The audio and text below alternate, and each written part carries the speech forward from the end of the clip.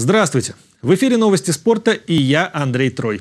Самара-СГЭУ переиграли Алтай Баскет. ЦСКА ВВС уступили Стерхам. На базе «Склон» прошли соревнования по фристайлу.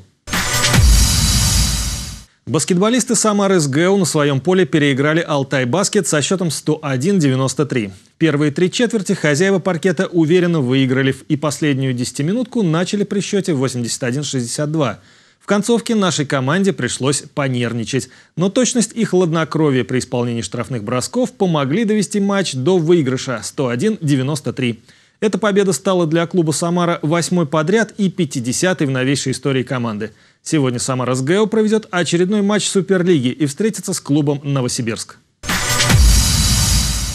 В воскресенье хоккеисты ЦСКА ВВС в Самаре сыграли второй матч с ямальскими стерхами. Первый матч летчики проиграли по булитам 1-2. Во второй встрече, как и в предыдущей, хозяева первыми пропустили. На 34-й минуте отличился Ренат Шамсулин. Хоккеисты ЦСКА ВВС отыграться смогли лишь в начале третьего периода. Шайбу забросил Дмитрий Хамко. За 6 минут до конца основного времени хозяева остались в большинстве и организовали несколько опасных выходов к воротам стерхов, но до гола дело не дошло. Авертайм победителя тоже не выявил, и исход матча вновь решилась серия послематчевых булитов.